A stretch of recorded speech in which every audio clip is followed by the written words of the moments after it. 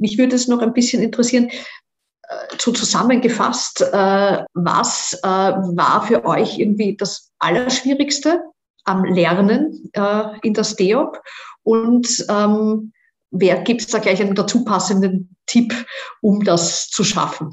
Also vielleicht durchaus jetzt wiederholend, aber nochmal so zusammengefasst, wenn es da sowas gäbe. Also ich würde sagen, ein, eines der Schwierigkeiten im Studium ist eben, dass man sich selbst organisieren muss und dass es eine sehr, zum Teil sehr große Stoffmengen sind und oft nicht so gut überschaubar ist. Ähm, und da würde ich einfach sagen, wirklich einen Plan haben und sich dann auch versuchen, an den zu halten, wobei es halt dann auch wirklich wichtig ist, sich realistische Ziele zu setzen und nicht zu große Ziele, ähm, weil man das sonst einfach nicht schafft und frustriert ist.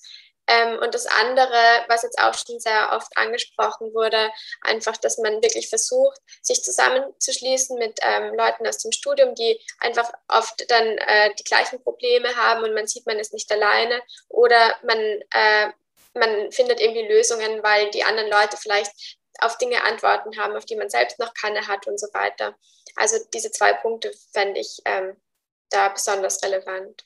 Ja, ich habe äh, eigentlich hier das Gleiche sagen wollen wie die Elisabeth und kann ich mich dem nur anschließen.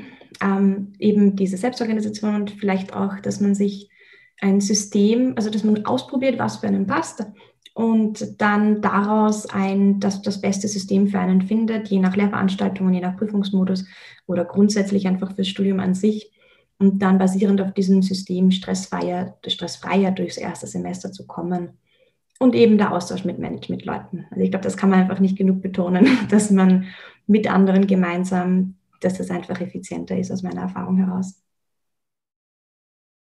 Was sind deine Tipps an erstsemestrige Studierende, um in das universitäre Lernen hineinzufinden? Das ist eigentlich ganz einfach. Üben, üben, üben.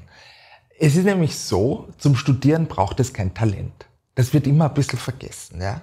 Es, bra es braucht kein Talent, um zu lesen. Na? Man muss Lesen üben, man muss es üben, Texte zu erfassen, zu unterstreichen, zu exzerbieren. Das ist alles zu üben, aber ein Talent braucht man dazu nicht. Und das ist sozusagen etwas, was wir auch vermitteln, was, glaube ich, viele beruhigt auch. Wir bieten wirklich viele Gelegenheiten zum Üben. Wir bieten Nachbereitungsaufgaben nach den Vorlesungseinheiten in der STEOP wo Studierende dann auch selbsttätig sozusagen herausfinden können, ob sie was richtig verstanden haben, wo sie aktiv Feedback kriegen von Tutorinnen, von Lehrenden, ob sie äh, den Stoff richtig erfasst haben. Also üben, üben, üben. Ich glaube, es ist ganz wichtig, Grundlagenlehrveranstaltungen wirklich ernst zu nehmen, äh, denn das erleichtert das Verständnis dann in Lehrveranstaltungen, die später im Studium äh, kommen. Äh, und äh, es äh, erzeugt natürlich auch viel mehr Spaß dann später, wenn man sozusagen das Grundlagenverständnis schon einmal mitbringt und schon wirklich sich fokussieren und vertiefen kann. Und ganz ein wesentlicher Tipp, nutzen Sie Mitstudierende für die Motivation.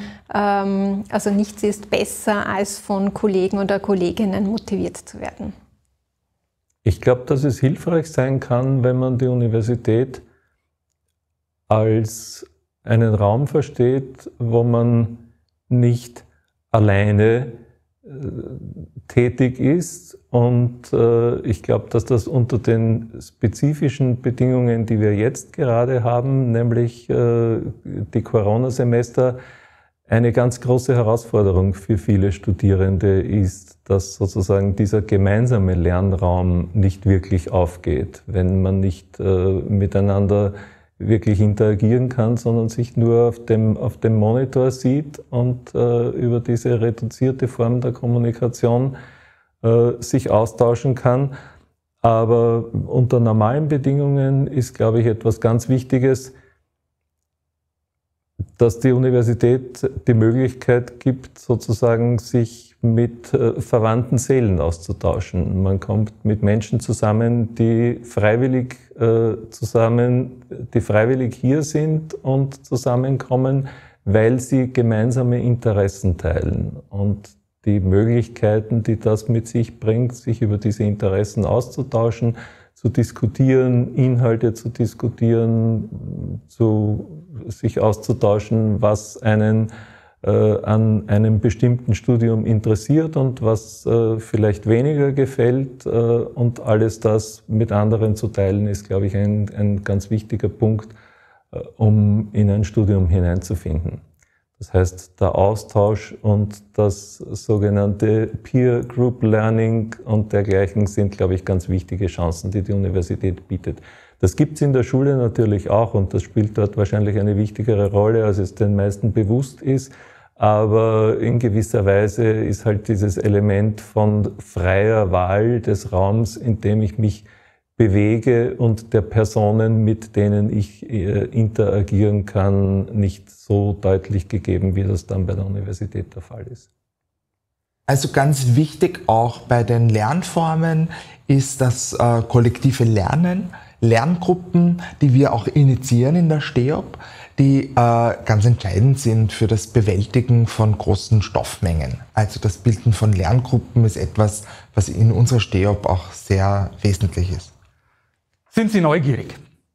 Schauen Sie sich um. Sie werden Menschen treffen, von denen haben Sie nie geglaubt, dass die existieren. Und die werden Sie auch nie mehr im Leben sehen. Knüpfen Sie Kontakte. Die Netze, die man an der Universität sich knüpft, halten oft ein Berufsleben lang. Nehmen Sie sich Zeit dafür. Nehmen Sie sich Zeit für den Inhalt des Studiums, nehmen Sie sich Zeit für Diskussionen, nehmen Sie sich Zeit auch für den Kontext. Schauen Sie über den Tellerrand. Das mag auf den ersten Blick in Zeiten von Bologna getriebenen Studiengängen äh, widersinnig klingen, weil da eben großer Wert darauf gelegt wird oder gelegt zu werden scheint, dass man Sachen möglichst effizient und in kurzer Zeit studiert, aber was sie jenseits ihres fachlichen Horizonts mitbekommen, wird später immer wieder ihr Leben prägen. Und sie werden sehen, das lohnt sich. Versuchen Sie ins Ausland zu gehen irgendwann. Das ist eine wertvolle Erfahrung, wie überhaupt alle diese Erfahrungen wertvoll sind. Und im Studium kann man das eben ausprobieren. Im Studium kann man eben seinen Weg finden. Das ist, glaube ich, das Allerwichtigste.